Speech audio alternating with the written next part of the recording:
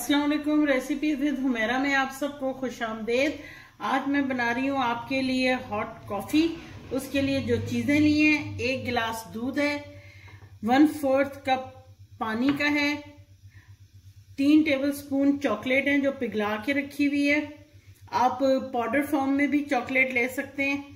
और ये है दो टेबल स्पून ग्राइंड चीनी और वन टेबल स्पून भर के कॉफ़ी ठीक है? सबसे पहले हम अपना पैन लेते हैं और इसमें पानी डालते हैं और ये कॉफ़ी डाल देते हैं।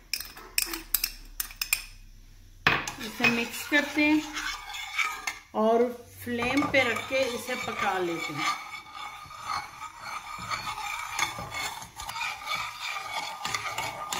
ये देखें जी, अच्छे से पक गई है।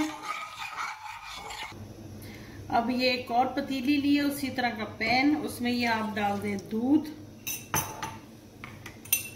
इसमें डाल दें ये चीनी। और ये चॉकलेट। और इसको एक दफ़ा फ्लेम पे रख के पका लें। साथ से साथ साथ हिलाते भी जाएँ। इसे एक बॉईल आ जाए तो हम फ्लेम ऑफ़ करेंगे। ये देखें जी, दूध को अच्छे से बॉईल आ गया है।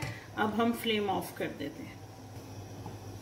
ये देखें जो हमारी कॉफ़ी पक रही है हल्की आँच पे पानी डाल के उसमें ये दूध डाल दें।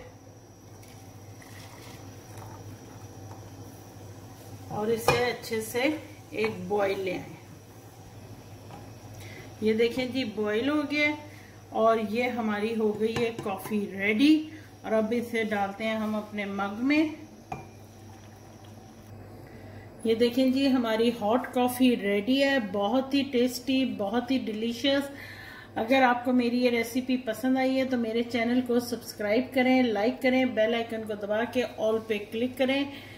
शेयर ज़्यादा से ज़्यादा करें। इनशाला नेक्स्ट टाइम हाजिर होती हूँ। अल्लाह हाफिज़।